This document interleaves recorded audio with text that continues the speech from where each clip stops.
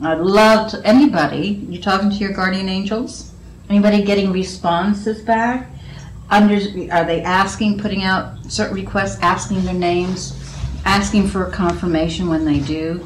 Um, so, you know, you can learn how to communicate and, and really put that into the practical. That's real important. That takes practice. And it takes not just occasionally.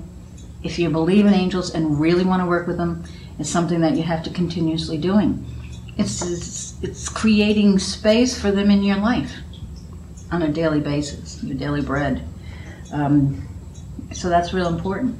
If you I have love that, that way you defined it, the, the daily bread. Ah, Yes, okay. That's great.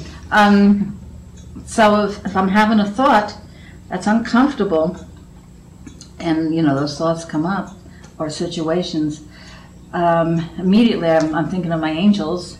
I, I try to go right to my angels, and um, I can vision visualize, and um, I can feel their presence. And they're also they're touchy.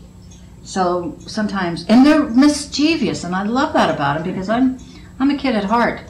So um, I guess you know that's part of my personality. So it, it's great to be able to interact with them, and they do help you. They do help me. You know, if I'm having trouble getting rid of something in my head, and that's something I'm I'm constantly working on is the clutter in my head, because I know the only way to work through it is to release it and really release it and keep it out after I release it, because it just sneaks back in there.